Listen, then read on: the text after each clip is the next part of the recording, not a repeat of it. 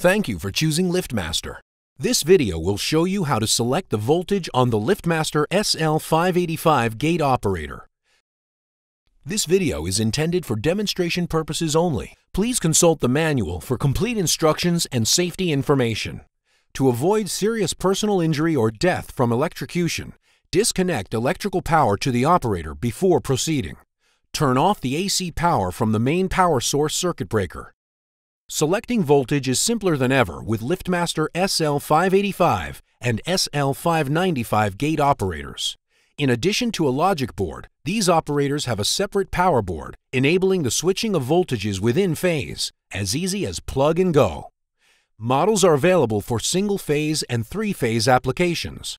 Let's start by selecting the voltage on a single-phase model. The power board provides connectors for 120 volts and 240 volts. The 240 volt connector is also used for 208 volt applications. To configure for 120 volts, locate the 120 volt connector and firmly insert the motor harness until locked in place. To configure for 240 volts, firmly insert the motor harness into the 240 volt connector until locked in place. To configure for 208 volts, swap the orange and red transformer wires. The red wire connects to the 240 volt position and the orange wire connects to the 208 volt position. These wires will be clearly marked with these directions. Firmly insert the motor harness into the 240 volt connector until locked in place.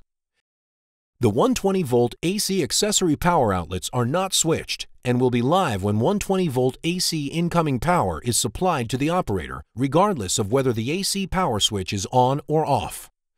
The 120 volt AC accessory power outlets are automatically disabled when the operator is configured for 208 or 240 volt operation. That's how easy it is. You're ready to move on to your next task. Three-phase models are similar. To configure for 208 or 230 volts, firmly insert the motor harness until locked in place.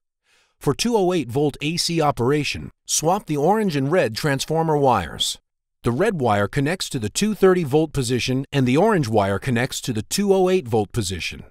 To configure for 460 volts, firmly insert the motor harness into the 460 volt connector until locked in place. Voltage selection is complete.